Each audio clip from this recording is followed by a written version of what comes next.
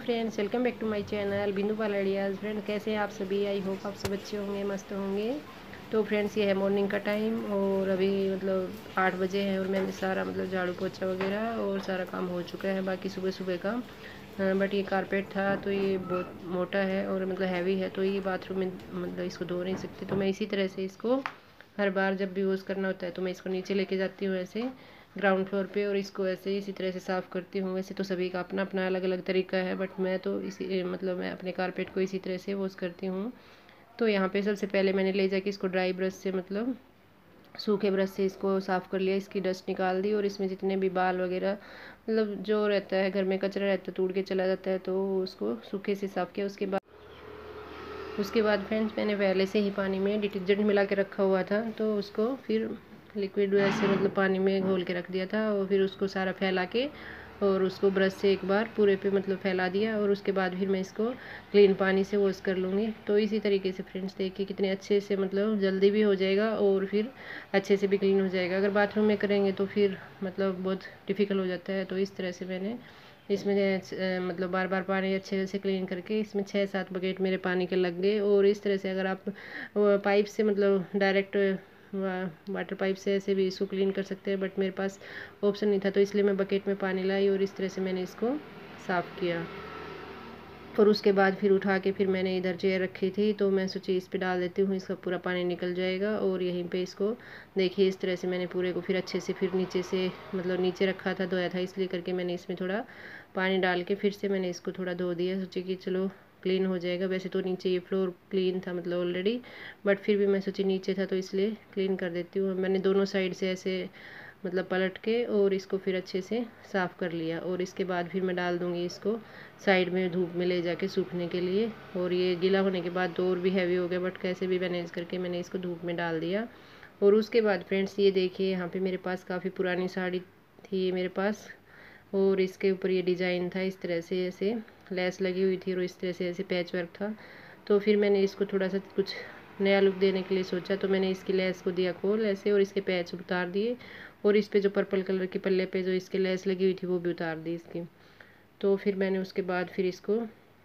ये लेस मैंने जो मोटे वाले बीच में जो फ्लावर की लेस बनी हुई इसको उतार दिया और जो ऊपर नीचे लगी हुई थी, उनको इसमें वापस अटैच कर दिया। क्योंकि उससे क्या था, ये ज़्यादा हैवी हो रखी थी और इसका कलर मुझे बहुत अच्छा लग रहा था छोड़ने का मतलब मैं जल्दी से कोई भी साड़ी या सूट होता है और साड़ी सूट का कोई भी घर में कोई सामान होता है तो जल्दी से उसको छोड़ने का मन नहीं करता और उसको रिनोवेट करके उसको यूज़ करने की सोचती हूँ। तो इसीलिए मैंने सोचा चलो साड़ी को भी थोड़ा सा नया लुक दिया जाए और उसके बाद फिर इसको कभी ना कभी पहनने के काम में आ जाएगी क्योंकि कलर इसका मुझे काफ़ी अच्छा लग रहा था। तो इस तरह से देखिए मैंने ये बीच की इसकी लेस हटा दी और दोनों जो ऊपर नीचे जो लेस लगी हुई थी उनको वापस से इसी पे अटैच कर दिया और जो पल्ले पे पर्पल कलर के जो पट्टे लगे हुए थे और जो मतलब पैच वर्क था, वो मैंने इसका निकाल दिया। तो इस तरह से ये इसका नया लुक हो गया और काफ़ी मतलब लाइट वेट लगी और अच्छी भी लग रही थी ऐसे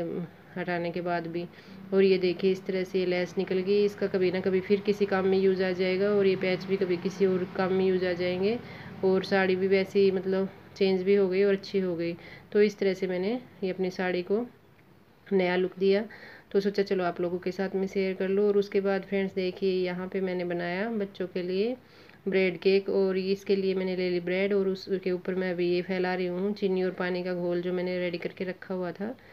इसके लिए मैंने यहाँ पे दो चम्मच पानी लिया था और दो चम्मच ही मतलब चीनी ले ली थी और इस तरह से देखिए मतलब जो आप ब्रेड के साइड में इसके किनारियों को कट भी कर सकते हैं बट मैंने यहाँ पे कट नहीं किया, ऐसे इसको यूज़ कर लिया। तो क्योंकि ये देखिए अभी इस घोल से ये थोड़ा सा गीला हो जाएगा और ये मतलब नरम हो जाएगा, इतना टाइट नहीं रहेगा। तो इस तरह से ये मेरे पास पहले की क्रीम बची हुई थी विप क्रीम तो इसको मैं यूज़ में कर लूँगी। और ये मैंने देखिए धीरे धीरे करके इस पर सारे मतलब जितनी थी उसी को एडजस्ट करके ऐसे फैला लिया। और सारे ब्रेड पे ऐसे ही मैं, सब पे ऐसे ही कर लूँगी। और फिर इसको लास्ट में फाइनल में भी इसके ऊपर सारा कोट करके अच्छे से इसको कवर करके और ये सिंपल सा बच्चों के लिए केक बना दिया। खाने में तो काफ़ी टेस्टी लगा फ्रेंड्स बस लेकिन सिंपल सा था क्योंकि क्रीम इतनी बची हुई थी और मैंने बनाई नहीं और इतनी, जितनी थी उसी से मैंने काम चलाया। तो बस ये है कि बच्चों को अच्छा लगा, खाने में टेस्टी था। बस थोड़ा क्रीम कम थी तो इसलिए डेकोरेशन में थोड़ा सा इसका कमी रह गई। बाकी तो सब अच्छा बना। खाने में तो उतना ही टेस्टी बल्कि और ज़्यादा टेस्टी लगा। ब्रेड का केक काफ़ी टेस्टी बनता है और इसके लिए कुछ ज़्यादा मेहनत नहीं करनी पड़ी। ब्रेड रखी हुई थी और क्रीम ऑलरेडी पहले की बची हुई थी तो इसलिए करके बच्चों के लिए केक बन के रेडी हो गया और ये देखिए इस तरह से फाइनल इसको मैंने कवर करके इस तरह से इसका लुक आया और फिर इसको कट करने के बाद देखिए किस तरह से ये काफ़ी टेस्टी बना। सो ये था मेरा मतलब जो मैंने केक बनाया था बच्चों के लिए, वो भी मैंने सोचा चलो आप लोगों के साथ में शेयर किया जाए। उसके बाद फ्रेंड्स मैंने बनाई बच्चों के लिए आइसक्रीम तो देखिए यहाँ पे मैंने तो ये देखिए फ्रेंड्स यहाँ पे आइसक्रीम के लिए मैंने क्या किया था? आधा लीटर दूध लिया था और उसमें दो चम्मच जब गर्म हो गया था बॉयल आ गया था, उबाल आ गया था तो उसमें दो चम्मच वनीला के कस्टर्ड पाउडर के डाल दिए थे, छोटे चम्मच कस्टर्ड पाउडर के डाले थे और कस्टर्ड पाउडर डालने के बाद पाँच मिनट तक उसको चम्मच से घुमाया ताकि कस्टर्ड पाउडर नीचे न लग जाए और उसके बाद फिर मैंने पाँच घंटे के लिए ठंडा करके फ्रिज में रख दिया था, डब्बे में ऐसे ढक्कन लगा के इसको और फिर बाहर निकाल के मैंने इसको, ये यहाँ पे मैंने एक कटोरी विप क्रीम ली थी तो इसके साथ में मैंने इसको फेंट लिया और इसमें मैंने मतलब आधा छोटा चम्मच वनीला एसेंस डाल दिया और उसके बाद देखिए फेंटने के बाद ये मैंने कवर करके फ्रीज़ में रात भर के लिए रख दिया और सुबह जब हुई तो मैंने इसको निकाला फ्रीज से और फ्रीज से निकालने के बाद देखिए फ्रेंड्स यहाँ पे इसको मैंने इस तरह से चम्मच से निकाल लिया और निकालने के बाद कटोरी में मैंने सर्व किया और थोड़ा सा गार्निशिंग के लिए मैंने यहाँ पे इसके डेकोरेशन के लिए मैंने थोड़ा सा ड्राई फ्रूट यहाँ पे मिक्सी में मतलब पीस के रखा हुआ है और नाइफ से भी काट के आप चाहें तो रख सकते हैं ऐसे और उसके लिए फिर थोड़े से बिस्किट, चॉकलेट वाले बिस्किट क्रैश करके रखे हुए हैं, वो भी इसी तरह मिक्सी में पीस लिए थे और उसके बाद फिर थोड़ा सा चॉकलेट शेप मैं इसके ऊपर से ऐसे डाल दूँगी और इसी तरह से फिर मेरी आइसक्रीम हो जाएगी रेडी और बच्चों ने इसको काफ़ी इन्जॉय के साथ खाया और टेस्टी भी लगी। तो ये एकदम झटपट से और ईजी से बनने वाली मतलब आसान तरीके से बनने वाली आइसक्रीम मैंने आप लोगों के साथ में शेयर की। सो आप लोगों को आज की मेरी ये दोनों आइसक्रीम और केक की रेसिपी और मेरे साड़ी का मतलब आप लोगों को कैसा लगा? अगर लगा तो चैनल को like share and subscribe friends take care bye bye